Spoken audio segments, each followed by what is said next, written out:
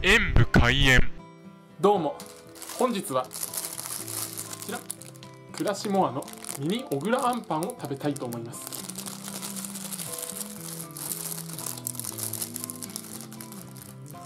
ではいただきます。ごめん間違えた。フジパンだったね。